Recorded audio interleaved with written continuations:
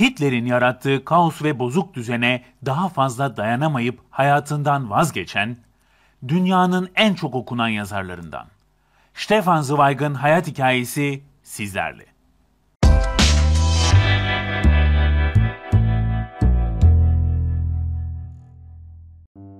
Stefan Zweig, 28 Kasım 1881 tarihinde Moritz Zweig ve Ida Zweig çiftinin oğlu olarak Avusturya'nın Viyana şehrinde dünyaya geldiğinde ailesi ona Stefan Zweig adını verdi. Ailenin ikinci oğlu olan Stefan Zweig, küçük yaştan başlayarak kültür ve edebiyat alanında eğitim görmeye başladı. 1892 yılında ilkokul eğitimini, 1900 yılında da lise eğitimini Viyana'da tamamlayan Stefan Zweig, İngilizce, Yunanca, İtalyanca, Latince ve Fransızca öğrendi. İlk şiirlerini lisede eğitim gördüğü sırada yazan Stefan Zweig, Avusturyalı roman yazarı Hugo von Hohenstahl ve Alman şair Rainer Maria Rilke'nin eserlerinin etkisinde kaldı. 1900 yılında felsefe ve edebiyat tarihini okumak için Viyana Üniversitesi'ne kaydoldu. Stefan Zweig, 1901 yılının Nisan ayında Gümüş Teller isimli şiir kitabını çıkarttıktan sonra 1902 yılında Siyonizmin kurucusu olarak kabul edilen Theodor Herzl'in yöneticiliğini yaptığı gazetede edebiyat üzerine makaleler yazmaya başladı. 1904 yılında Hippolit Ten Felsefesi adlı teziyle doktora derecesi alarak yüksek öğrenimini tamamlayan Stefan Zweig, aynı yıl kaleme aldığı Erika Ivaldin Aşkı isimli öykü kitabıyla giderek daha fazla tanınmaya başladı. 1906 yılında yayınlanan ikinci şiir kitabıyla Avusturya'nın edebi daldaki en önemli ödüllerinden biri olan Bauernfeld ödülünü kazandı. 1907 ile 1911 yılları arasında Hindistan, Kanada ve Amerika'ya yolculuk yapan Stefan Zweig, 23 Eylül 1912 tarihinde Avusturyalı yazar Friederike Maria von Winternitz ile ilişki yaşamaya başladı. 1914 yılında Belçika'ya geçen Stefan Zweig, burada edebiyat ve sanat çevresinden birçok kişiyle tanıştı. 28 Temmuz 1914 tarihinde Avusturya Macaristan İmparatorluğu'nun Sırbistan'a savaş ilan etmesiyle başlayan Birinci Dünya Savaşı nedeniyle Stefan Zweig gezi için gittiği Belçika'dan orduya katılmak için Viyana'ya geçti. Viyana'da savaş karargahında arşiv memuru olarak görev alan Stefan Zweig, arşivlenmesi için önüne gelen belgeler sayesinde savaşın gerçek yüzünü gördü. 1916 yılında yayımlanan Babil Kulesi ve 1918 yılında yayımlanan Zorlama, Stefan Zweig'ın savaş karşıtı yazılarından oldu. 1917 yılında yazdığı Yeremye adlı oyunla dönemin trajedisini ve cephede yaşanılan acıları anlatmaya çalıştı. 13 Kasım 1917 tarihinde Stefan Zweig askerlere eğitim vermek amacıyla Friederike Maria von Winternitz'i de yanına alarak İsviçre'ye geçti. 11 Kasım 1918 tarihinde Almanya ile Fransa-İngiltere ittifakı arasında yapılan ateşkes anlaşmasıyla Birinci Dünya Savaşı'nın Batı cephesindeki mücadele sona erdi. Stefan Zweig, savaşın sona ermesinin ardından 24 Mart 1919 tarihinde İsviçre'den Avusturya'ya gelerek Salzburg'a yerleşti. 28 Ocak 1920 tarihinde Friederike Maria von Winternitz ile belediye binasında gerçekleşen sade bir törenle evlendi.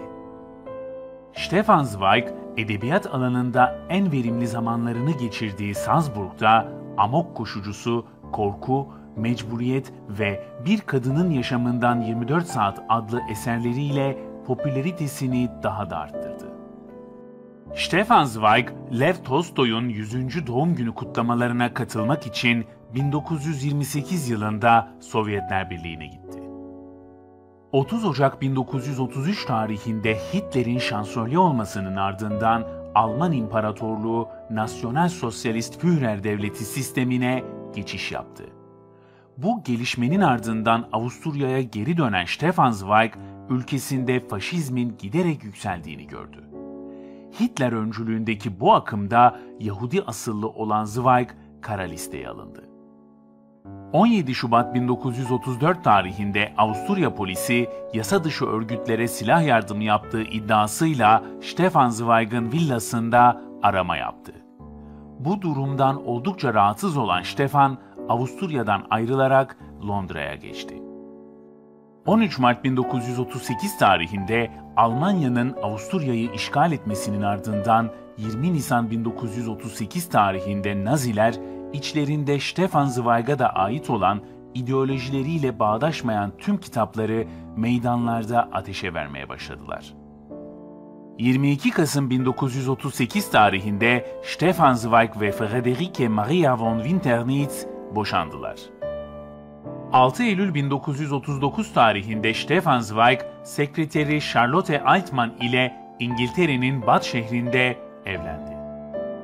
İkinci Dünya Savaşı'nın başladığı bu dönemde Zweig, Nazilere karşı bir tavır takınmaması ve zulüm gören Yahudileri desteklemek için herhangi bir adım atmamasından dolayı siyaset bilimcisi Hannah Arendt gibi büyük Yahudi figürler tarafından eleştirildi.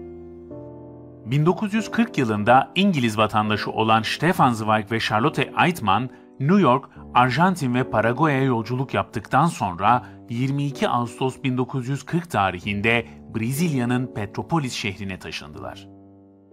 Hoşgörünün kalmaması, Nazizmin büyümesi ve yıkıcı otoritenin giderek daha fazla güçlenmesi nedeniyle depresyona giren Stefan Zweig, 1942 yılının başında Satranç adlı eserini kaleme aldı.